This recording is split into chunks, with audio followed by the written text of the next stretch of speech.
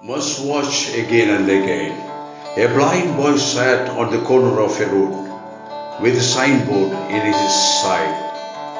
It read, Please help me. I'm a blind poor boy.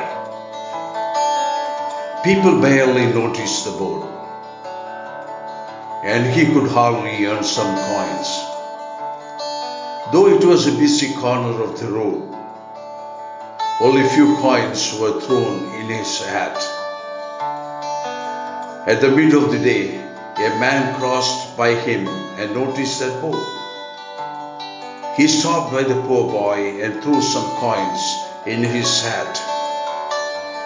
He did another thing too. He changed the words in the board, and the blind boy noticed that. A few moments later, the boy was surprised to feel that a lot of coins were coming in his hat.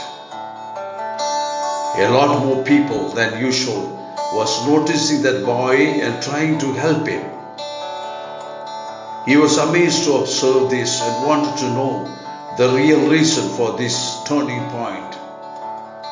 The next day, the same man stopped by him to see if there is any change in the condition of the poor boy.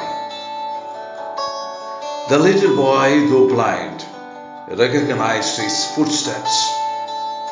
He asked him curiously, What did you do yesterday? The man smiled and told him, I did nothing but made a little change in your signboard. The boy asked, And what was that? Today is a beautiful day and I can't see. The boy said, But the meaning is the same. What made the people help me more than the usual? The man told him, Yes, you are right. But the first sign simply told them that you are blind. The second sign made them aware that they weren't blind. The boy now understood it very well.